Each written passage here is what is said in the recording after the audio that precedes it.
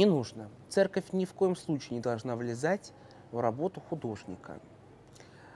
А другой вопрос, что я как режиссер, когда я работаю над спектаклем,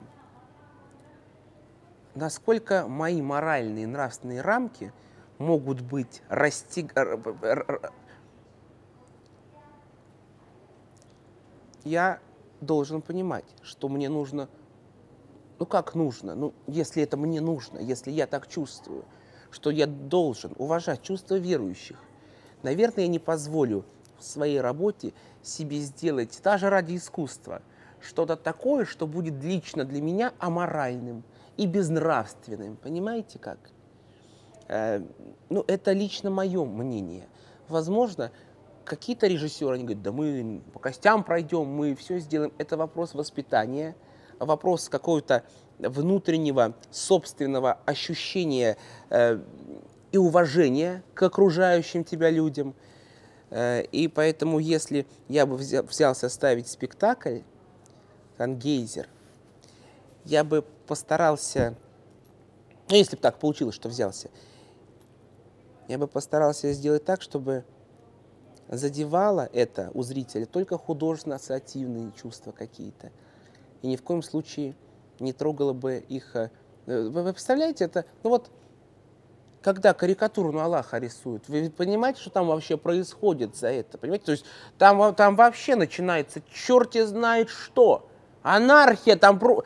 А у нас э, многие режиссеры считают, что они могут ударить, вот знаете как, я понимаю, что сейчас это, знаете, как э, очень этого много-много-много, и уже появляются такие, боя, как это, тролль, троллинги, РПЦ головного мозга.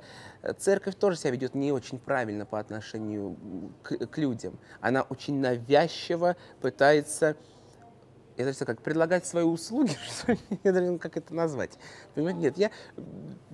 И возможно, что церковь сама провоцирует на такие насмешки и подколки в свой адрес э, художников. Но директора театра я бы не стал снимать за это. Я бы, как Министерство культуры бы, если бы я э, мог решать, я бы сделал выговор, Возможно, что я бы туда направил какой-нибудь бы э, э, комитет цензоров, которые бы дали мне заключение о том, насколько это может э, задевать чувства верующих, а потом только суд бы решал, насколько это попадает под закон оскорбления чувств верующих.